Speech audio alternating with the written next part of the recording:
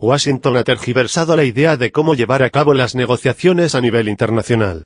Mientras que otros países están dispuestos al debate y las concesiones mutuas, Estados Unidos está centrado en su excepcionalidad, por lo cual pierde ante sus socios internacionales, sostiene el veterano de la CIA, Paul Pillar.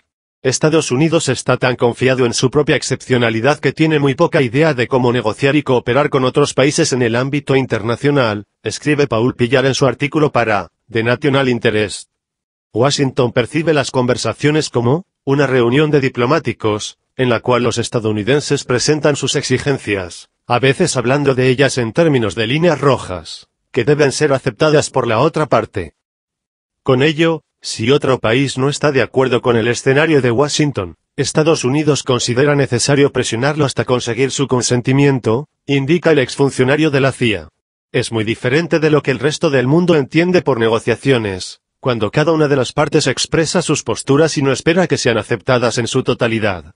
Después de una discusión y concesiones mutuas es posible llegar a un compromiso, destaca Pillar. No obstante, Estados Unidos es totalmente inflexible en su política internacional y no quiere proporcionar a sus socios en la mesa de negociaciones algún tipo de opción. En vez de ello, Washington está completamente enfocado en qué tipo de presión o coacción debe aplicarse para lograr la derrota absoluta de la otra parte.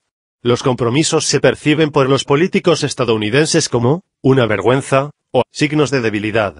Al mismo tiempo, otros estados muestran a Washington que pueden competir con él en la mesa de negociaciones y que Estados Unidos no tiene una licencia exclusiva para establecer las líneas rojas, señala el exfuncionario.